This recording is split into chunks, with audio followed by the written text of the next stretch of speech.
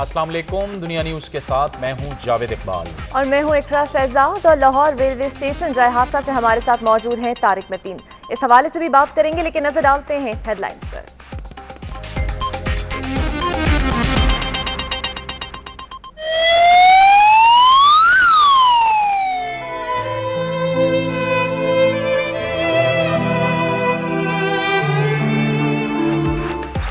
Lahore railway station पर बम धमाका, दो अफराद जहाँ बहक, पचास से जायद जख्मी। अस्पतालों में एमरजेंसी नाफिज, रेल सर्विस आर्जी तौर पर मुअत्तल।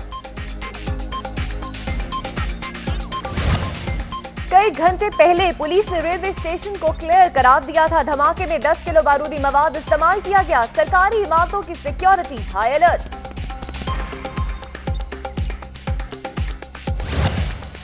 तोहिन अदालत केस में वज़ीर आज़म का फैसला दो रोज बाद सुनाया जाएगा। एतजाज अहसन कहते हैं कि अडियाला जेल जाकर भी गिलानी वज़ीर आज़म रहेंगे।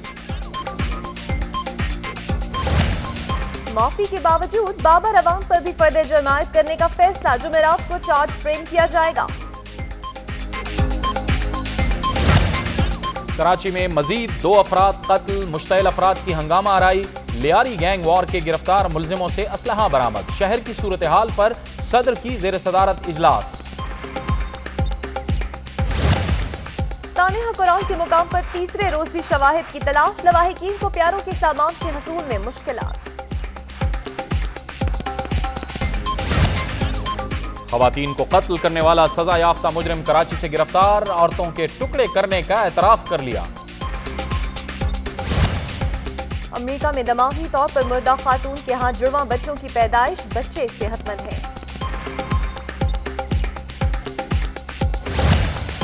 पंजाब में दूसरी जमात की दरसी किताब देखकर बड़ों को भी पसीना आ गया। जहीन तलबा ने लैपटॉप्स पर सूबाई हुकूमत का लगा ठप्पा मिटाने के नए गुर ईजाद कर लिए।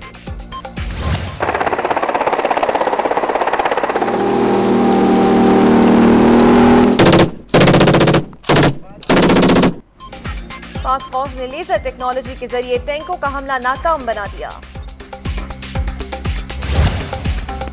जूनियर एशिया कप हॉकी के लिए 18 रुकनी कौमी टीम का ऐलान कर दिया गया उमर भुट्टा कप्तान होंगे। और माजी के अजीम फनकार मिले तो खुशगवार यादें आँखों के सामने घूम गई।